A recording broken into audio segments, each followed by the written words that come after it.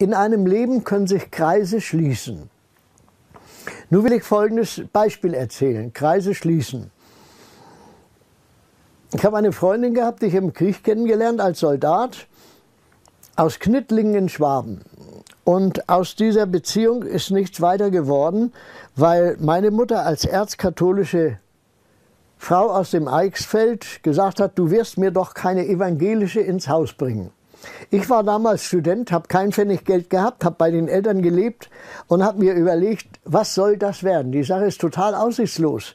Ich kann doch nicht dieses Mädchen in irgendeiner Form an mich binden oder sie sich an mich binden, ohne irgendeinen vernünftigen Hintergrund. Ja, heute machen die Leute alles Mögliche. Die haben beide nichts und sie heiraten oder sie heiraten nicht und setzen Kinder in die Welt, alles durcheinander. Ist egal, heute, aber damals nicht. Das ging nicht. So.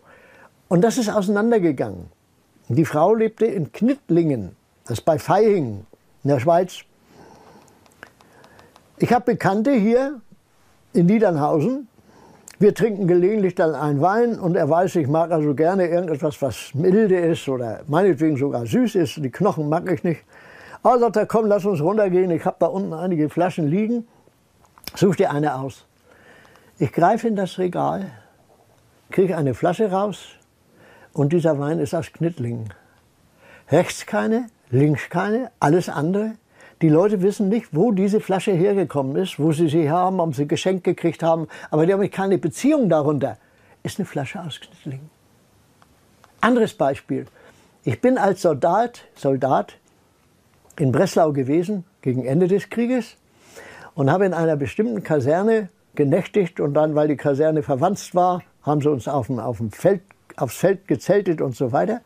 Gegenüber auf der anderen Seite von der Ober Oder lebte im Alter von damals zehn Jahren meine spätere Frau.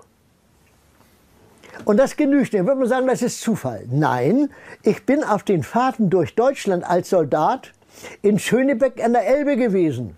Und Schönebeck an der Elbe ist der Ort, Ort, wohin die Familie aus Schlesien geflüchtet ist. Das sind schon zwei Sachen. Und so geht das reihenweise. Wenn man da mal die Augen aufhält, dann sieht man Beziehungen, wo, wie ich sage, die Kreise sich schließen. Viele, viele